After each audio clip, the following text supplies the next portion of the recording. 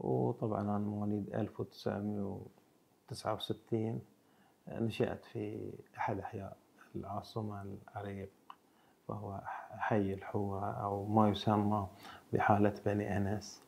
طبعا هي من الأحياء العريقة الحورة والقضيبية والعوضية والذواد والحدادة هذه مناطق يعني قديمة ولها تاريخ كبير وأخرجت شخصيات كثيرة على خدمة الوطن في شتى المجالات فأعتز بانتمائي ووجودي في هذه المنطقة. أنا طبعا أصغر إخواني الأولاد عندي أخت أصغر مني. وطبعا ربيت في يعني في بيت في استقرار أسري مهم الوالد الله يرحمه مهتم في البيت يعني حياته كلها البيت ما عنده يعني كل جا حاط كل اهتمامه في البيت متواجد في البيت طول الوقت من مسيد البيت الأمور هذه إلا أنه كان عنده فترة تجارة عنده فيروح يرجع ما يطلع عن خارج إطار الأسرة فهو متواجد ووجود الأبو بهذا الاستمرارية في البيت بلا شك ينعكس على الأولاد. هو شخصيته كانت وايد قوية وحازم. فكان له هيبة الأبو يعني وفي نفس الوقت يرعى أسرته يعني مو بالهيبة اللي اللي السلبية لا كانت الهيبة الإيجابية ويحرص كان على التعليم. لذلك ثلاث من إخواني يحملوا شهادة الدكتوراه يعني. اي لا. اي طبعا أنا أعتز في الحورة وفي القضيبية وفي العوضيه وفي الذواد وفي الحداد والمناطق المحيطة. كنت تمثل تاريخ مهم من تاريخ البحرين وأخرجت مثل ما قلت لك رجالات وفي في ترابط اجتماعي مهم. يعني أنا ربيت في فترة عادي أدخل إذا عطشان ما أروح بيتنا أروح بيت جيران أشرب ماي. أو أروح ذاك أدخل لهم وقت الغداء وأتغدى يعني. فالبيوت دي كلها أعتبرها بيوتي. فارتباطي في المنطقة مو ارتباط نائب بدائرتي لا لا ارتباط شخص يحاول بقدر الامكان ان هذه المناطق ما تنتهي لأن انتهاءها مو مو لصالح البحرين. لما لها من تأريخ وأهمية وكثير من الأمور. لذلك احاول بقدر الإمكان انها هي تظل صامده وإن شاء الله بتظل صامده وبلا شك يعني أمانة يعني الحكومة أجرت الكثير من المشاريع اللي تؤمن استمراريتها. فطبعا جلالة الملك يعني إحنا نعتز إنه هو درس فترة في هذه المنطقة وهو يحمل المنطقة الكثير من الود والتقدير وإحنا نحمل الكثير من التقدير. أمانة جلالة الملك له بصمات كثيرة في داخل المنطقة. نهض بالمنطقة بكثير من الأمور اللي هو كان بشكل مباشر يأمر بها وهذه يعني بالنسبة لنا أول شيء هذا مو غريب على جلالة الملك وبالنسبة لنا يمثل لنا اعتزاز كبير من جلالته والاهتمام هذا يمثل لنا دافع معنوي مهم. أنا اشتغلت فترة في مجلس الوزراء وعقب اشتغلت مدير مكتب وزير الدولة الأستاذ محمد حسن كمال الدين بعدين مدير مكتب الدكتور عبد الحسين ميرزا فتدرجت وتنوعت وتنقلت هذا أكسبني خبرة في خبرة عملية كبيرة خاصة يعني الوزراء اللي اشتغلت معهم كانوا أصحاب خبرة وأصحاب تجربة فتعلمت منهم الكثير يعني خاصة الدكتور عبد الحسين ميرز استمرت معه فترة طويلة وهو كان هي فترة يعني أول ما صار وزير.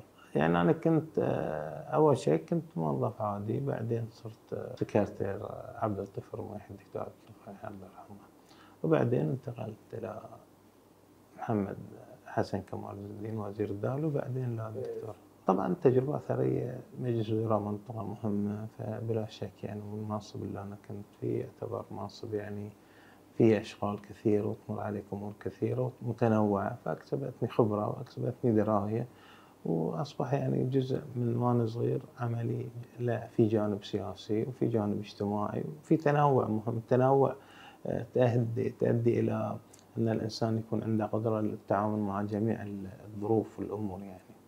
هو طبعا أنا من عائلة رياضية يعني أساسا إخواني وعيال عمي في الرياضة مثلوا منتخبات في عدة لعبات كرة القدم وكرة اليد فمن عائلة رياضية إخواني يعني. واحد منهم حتى في السباحة. أنا أساسا منطقة ساحلية حتى في السباحة كان يجيب يعني نتائج المراكز الأولى دائما. فمن عائلة كل إخواني رياضيين أصلا كانوا فيحبون الرياضة عيال عمي كلهم رياضيين ما زالوا. فطبعا رحت إلى كرة الطائرة. تعرف قبل مجموعة وين يروحون؟ الكل يروح يعني نروح مع بعض. فأنا مجموعتي كانت تحب كرة الطائرة.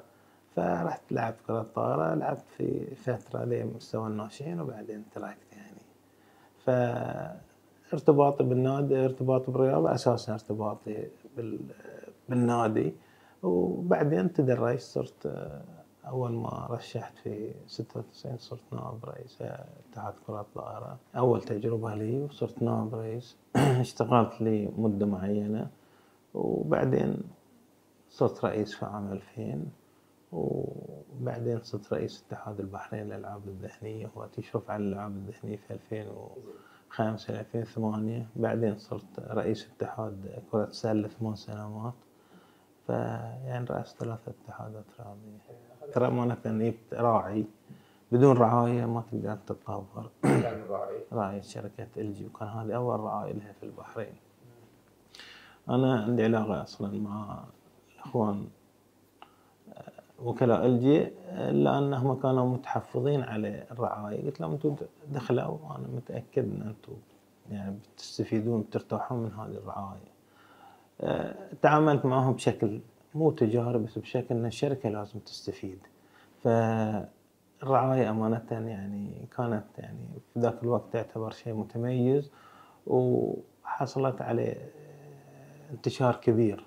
فأول ما يا وكيل الشركة أو ممثل الشركة الأم يوم شاف الفيديو قال هذا اللي إحنا نداوره هذه اللي إحنا نرعاه وهو الحضور. فأمانة كرة مو بتكلم عن فترتي بس كرة الطائرة صارت هي الأولى على المستوى الجماهيري في البحرين. والمباريات كانت يعني الصالة الجفير تنصك وتن يعني ما في مجال حق إن أي حد يدخل يعني فترة. قبل المباراة يعني. قبل المباريات المهمة خاصة اللي كانت بين الفريق الهلال أو الوحدة وفريق محرق يعني كان فعلا يعني مباريات مهمة لأن دخلت موضوع المحترفين الخليجيين وفعلته فأصبح يعني كل من يبلى محترفين فأصبحت في هناك حضور. ما زالت بعض الشيلات لغاية الآن تنشال على ذيك الفترة يعني فترة كانت حضور جماهيري وايد مهم ورعاية في نفس الوقت فأصبح العمل يعني متكامل تقريبا يعني. طبعا تحسن الفترة اللي أنا استلمتها كان يعني قبلها بشهرين الإدارة مستقيلة وعندهم مشاكل كثيرة ولعبة كرة السلة أصعب لعبة في البحرين. تنافس أساسا أندية كلها أندية كبيرة وعندها جماهير جماهير كبيرة. فاللي أول شيء سويته إن يعني الاتحاد ابتعد عن التصادم مع الأندية. إحنا كنا مظلة الجميع. نتعامل بحيادية مع الكل. أطلقنا كثير من الأمور غيرنا سيستم المسابقات. يبني رعاية والرعاية ما زالت الآن موجودة من 2000 تقريبا 8 أو 2009 لغاية الآن يعني طافت تفوق ال 13 14 سنة وهي كانت رعاية كبيرة. وأضافة إلى تأملنا استفادينا قدرنا يعني نسخر آه، ونزيد حماسية اللعبه وحضور الجماهيري. وصلنا لنا يعني سوينا النهائي من سبع لقاءات. هذه ما كان إلا في البحرين وفي الام بي اي ان سبع لقاءات النهائي. هذه كان يعني هذا دليل قوة اللعبه كنا نحاول إن نتعامل بشكل غير طبيعي. ما أنا في طبيعة حياتي ما أحب العمل التقليدي أحب العمل الانسان يحط له بصمة. إضافة علاقتنا كانت مع الجماهير زينة. بس كانت العملية مو مو سهلة. الأندية كبيرة اللي تنافس وعندها قاعدة جماهيرية والجمهور نفسه صعب السيطرة عليه. بس وصلنا لمرحلة أن الصالة نفتحها إذا المباراة سبع نفتحها الساعة 12 الجمهور يقعد من الساعة 12 قبل ساعتين ما في شيء. ليه صار لنا بعض التذاكر وصل يصير التعامل معها. طبعا هذا شيء مرفوض لكن كان ما نقدر نسيطر عليه. آه، سوق سوداء. تذكرة من دينار. ليه قبل ساعة توصل ل خمسة دينار قبل نص ساعة توصل ل 10 دينار؟ تصور يعني في البحرين. طبعا صرنا ما ما أعطيك أكثر من تذكرة تذكرتين بالكثير يعني. ما نبيع كنت ما نبيع الشخص إلا تذكرة واحدة بالكثير تذكرتين. يعني ما واحد ياخذ له 20 و 40 تذكرة لا إضافة إلى دخلنا نظام كان دي أول مرة في البحرين إنك كنت تقدر تشتري من موبايلك. على أساس إن إحنا يكون تخفيف لأن كان الناس حتى الطابور مال شراء التذاكر كان طابور طويل يعني ياخذ له فترة طويلة على ما يحصل دوره. خاصة أن كل واحد يحصل على تذكرة تذكرتين عدد غني من التذاكر فكان يوم من وقت بس هذا طبعا يأكد على أن كرة السلة كانت فعلا هي الأولى. يعني في أتذكر حادثة كان في نفس الوقت الساعة سبع الساعة سبع مباراة بين المحرق والأهلي ومباراة كرة القدم مع احترامي طبعا وكرة مباراة نفس بين المحرق والأهلي كرة السلة فطلب منه التأجيل إنه ما نأجل. يعني اللي عندي في الاتحاد قالوا بيروحون الغداء نشوف. يمكن إحنا ناخذه ما راحوا الغداء هو السلة لدرجة انها ترست الصالة بنفس الآلية اللي أنا قلت لك. يعني تعرف ليش استمرت أربع سنوات؟ تجربة 2002 أولا يعني كانت أول تجربة والناس ما جربت غيري الحين يوم جربت غيري عرفت يعني قد يعني قدرت عملي قدرت اهتمامي في المنطقة اهتمامي فيهم حرصي عليهم تواصلي معهم كثير من الأمور قدروه. إضافة إلى يعني أنا دخلت تنافس مع 13 شخص أنا كنت صغير في السن ودخلت مع جمعيات ضد جمعيات ضد قامات كبيرة يعتبرون في العمل السياسي وغير السياسي فيوم وصلت الثاني وما يعني ما توفقت بنسبة صغيرة مو نسبة كبيرة.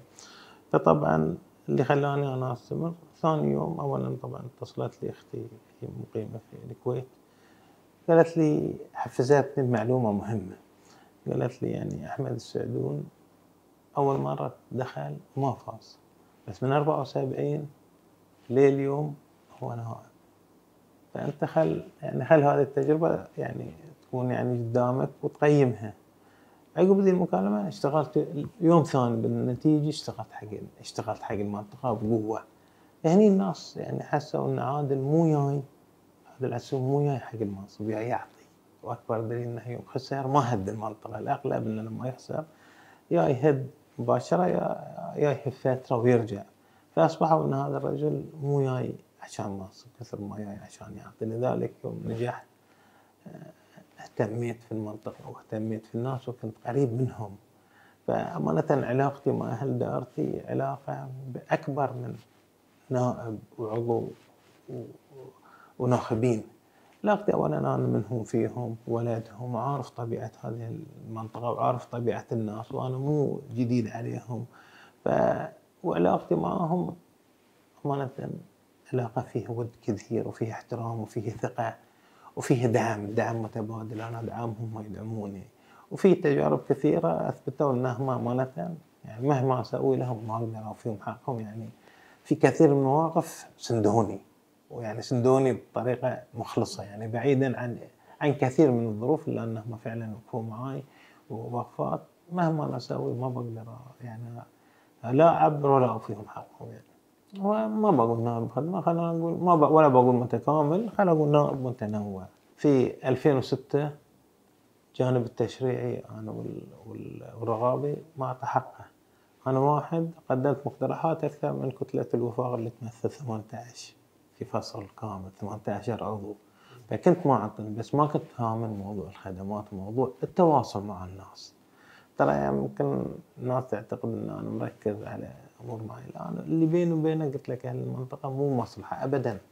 لو كان بيني وبينهم مصلحه كان من زمان لا ما بيني وبينهم إخلاص. ما صورت نفسي في جا في في مكان معينة ويتفاجئون ان أنا مو ماخذ هذه المكانه إضافة له مع واثقين. أنا لما كل قراراتي تكون تكون قرارات مبنية على وضوح وتعامل وطني. وأهم والقدرة على أن الموضوع ذي يمشي أو ما يمشي إضافة إلى دائما أكون موضح معاهم في تصويتاتي في كل الأمور آه، واعطي واعطي يعني النائب لازم يكون عنده قدرة على اتخاذ القرار. في هناك الكثير من مثلا شكك في مشروع الإسكان. قال لا ما وفي إسكان في الحوره. تيلي قبل 2002 تقول إسكان في الحوره يقول لك أنت سامحني ما تتكلم بشكل منطقي. صار إسكان. فكل اللي كنت أطلقه من وعود ومن التزامات أحققها. صعبة بس حققتها قدرت. فحتى مواقفي في المجلس ما كنت واقعي ومنطقي فيها. ويكون في أنا في النهاية امثل الناس. نعم بس في النهاية نائب امثل مصلحة البحرين. المساعات الاجتماعية ما لها دور لا صدقني خصوصا أنت كنت من مؤسسين لصندوق الحرة وكنت مؤسس صندوق ضبيل اللي صندوق المعذرة صندوق فيتين اللي في شو اسمه اللي في نادي بسيتين. العمل الخيري مو أنا حتى يعني أهلي أصلا عندهم إذا ترجع حق الحوره بيقول لك يعني. شوف ال... أي مساعدات ليس فقط العمل الخيري أي مساعدة أوقفها قبل شهرين. ما تعامل معي. قبل شهر من الانتخابات وما تعامل معروف. وما تعامل نهائيا. إيش رأيك إنه يعني أقل نائب أصرف في الانتخابات حتى اللي يشتغلون شباب الفريج متطوعين. أول شيء انضميت للخارجية أول دو أول فصل ورحت الخارجيه وما هديت تميت أربع سنوات وبعدين رحت الخدمات الخدمات بحكم إنها هي يعني لجنه متنوعة. متنوعة وفي خدمات تقدر يعني تفيد ال- ال- المنطقة وتفيد يعني ويكون فيها مو- يعني مشاريع وقوانين تخص يعني جانب مهم وهي كانت الصحة والتعليم والقطاع العمل كثير من القطاعات اللي مهمة. وبعدين رحت لجنة المرافق لمدة تقريبا فصلين. شوف كل اللجان اضافوا لي التنوع أنا اصبح عندي خبره في التعامل مع كل ال- الملفات أو كل الأمور اللي تخص فادتني كنائب. اصبح عندي خبرة في اللجنة الخارجية والأمن والدفاع وعندي خبرة في لجنة الخدمات خبره عندي خبرة في لجنه المرافق اضافه إلى تخصصي المالي فأصبحت تقريبا كامل في هذه كلها يسوون لي شنو؟ خبرة تشريعية ورقابيه اللي هي اللجنة التشريعية. فلجنة الخارجية مثل ما قلت لي لجنة مهمة ولها وحساسه في نفس الوقت. أضافت لي الكثير ولجنة الخدمات خلتنا نكون قريب من المشاريع الخدمية التعليم والصحة والعمل والمواصلات. فهذه خلت عندي شوي عندي خبرة متنوعة في التعامل مع كل الملفات داخل المجلس. حطيت إعلاناتي قبل خمسة أيام يعني فكان في هناك من روج إن أنا ما بدخل وإن أنا يعني ما بقول تسهلت أنا ثقتي موجودة في هالمنطقة بالعكس كانت تجربة ثرية جدا. باطأت شوي. أنا طبعا ثقتي في هالمنطقة خذها مني بلا حدود. بلا حدود مش مجاملة أو غرور لا علاقة علاقة. أنا عارف إيش كبر وهم يعرفون إيش كبر. بس بعد هني بينت يعني حتى الناس المختلفين معاي اللي ما عمرهم صوتوا يوم شافوا إن أنا أحتاج إلى تصويت صوتوا لي. فيعني كانت تجربة وأكبر دليل إن أنا المره الثانية 2018 جبت الأول على البحرين. جبت 75% الجولة الأولى. أي بس أنا حتى الاعاده ل 2014 ما كانت يعني يعني جبت 47 ونص. كان بيني وبين الثاني 600 صوت. الناس بعد ما رضت باللي صار في 2014 النتيجة وال... وال... وال... ما بنقول تراخي نقول يعني التراجع اللي صار أصبح حتى هم لا يعني ما كانوا يبونها كان يبونها انها شو اسمه إنها تكون إثبات يعني مو انها يعني ما قبلوا إن أنا أفوز حتى بنسبة بسيطة يعني. أنا فزت بنسبة 2227 صوت أو سب أي 2227 صوت الفارق. إضافة إلى فوق ال 200 صوت هذا يعني مجرد كانوا من كثر ما هم متحمسين يقول لك كلنا معاك الفوز لك نتمنى لك كل هذا. كان بروحه 200 وشوي صوت باطل اعتبره يعني لو تجمعها حوالي 2500 صوت. يعني كانت تعرف الناس بطبيعة عفوية. عفوية عفوية. الناس ويعني بيبين شو اسمه. بالعكس أنا هذا الشيء يعني ريحني يبين لك إيش كثر هم يعني داعميني. وواحد قال لي قال لي ترى أنا كتبت له قلت له يا ريال ما يصير خسرتني دي الصوت. قال إيش دراني يعني؟ يعني فوائد يعني في واحد يعني ما بقول لك هاي مو بالنشر واحد قال أنا سويت أنت تكفى البوم كله سويت من القهر سويت يعني إكس على خسرت الصوت يعني.